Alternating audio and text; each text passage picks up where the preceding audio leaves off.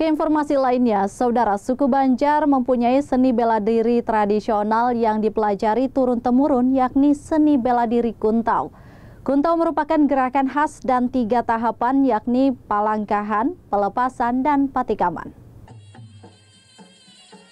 Kuntau merupakan seni bela diri tradisional suku Banjar.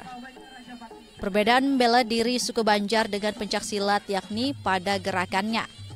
Kuntau terdiri dari palangkahan atau tata cara gerakan kuntau, pelapasan yang merupakan cara menghindari lawan, dan patikaman yakni cara menghindar tetapi langsung menyerang lawan.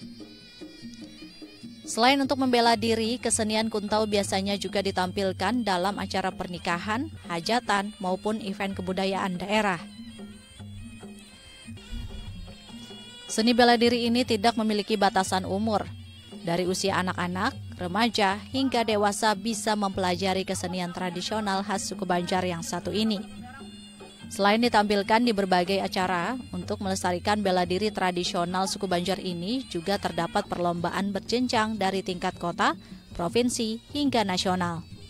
Hal ini membuat seni bela diri kuntau semakin banyak diminati generasi muda di Kalimantan Selatan. Yang pertama, bela diri kuntau kita itu adalah bagian dari peninggalan ataupun e, ciri khas orang Benua Banjar atau peninggalan para orang yang terdahulu itu dulu yang asli dari area khususnya Kalimantan lah.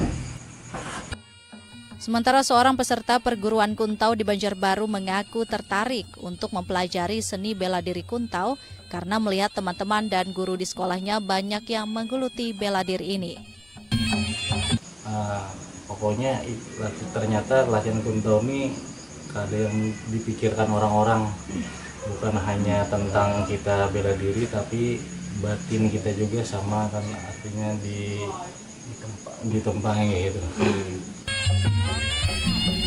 Ia berharap dengan mempelajari bela diri khas Banjar dapat turut melestarikan kebudayaan suku Banjar dan bela diri Kuntau dapat semakin dikenal oleh masyarakat luas.